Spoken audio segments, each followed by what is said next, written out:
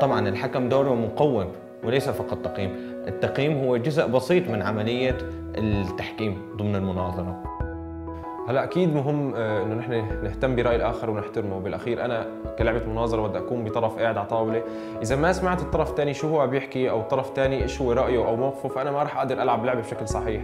ما راح أقدر أدافع عن موقفي إذا أنا مالي عرفان موقفك. ما راح أقدر أدافع عن عن جملتي أو قادر أقنعك برأيي إذا أنا رأيك أساسا مالي سمعانه. لما بتكون حكم أسلوب فأنت بتطلع على لغة الجسد على تسمع الصوت وتقنيات الصوت النظر كيف كان السلوك العام للمناظر. هذا الشيء اللي بتطلع عليه كحكم أسلوب. أما كحكم محتوى فبدي أطلع على الحجج اللي عم يحكيها على مضمون هي الحجة على التحليل على السببية هل كانت مترابطة بالقضية أو لا. أما كحكم استراتيجية فاللي بيهمني هو كيف قسم هذا الخطاب؟ شو كانت الخطة اللي اتبعها؟ قد دعمت موقفه أو لم تدعم موقفه؟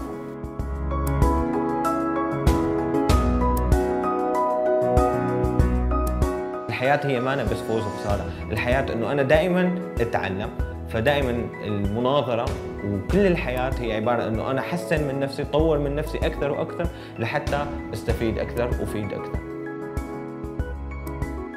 اللي بياخذ العلامة الأعلى هو الشخص الأجدر هو الشخص الأكثر كفاءة كمناظر.